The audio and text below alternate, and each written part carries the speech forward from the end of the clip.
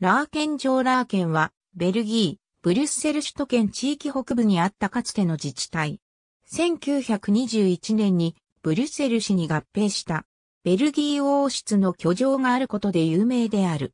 1080年に村の名前としてギルバート・デ・ラチャと記された。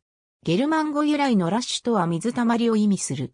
1331年、村はブラバント公、ジャン三世時代にブリュッセルと合併した。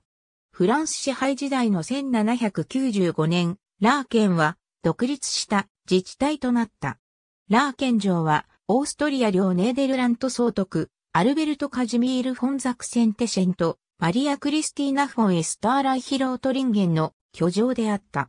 1812年、マリア・クリスティーナは、ラーケン城にて、ナポレオン一世と共に、ロシア戦争の布告に署名した。1900年のパリ万博に使われた中国パビリオンの解体部材を使用した中国館と同じ設計者に新たに依頼して建設した日本の50棟がある。現在はリノベーションされ、中国と日本の陶磁器などを展示する極東博物館になっている。ラーケンには1958年のブリュッセル、バンコク博覧会において会場となったエゼルがあり、ボードラン国王競技場とアトミウムがある。谷勝治、ブリュッセル歴史散歩中世から続くヨーロッパの十字路、日経 BP 企画、2009年、206ページ。ISBN 978から4から8613042224。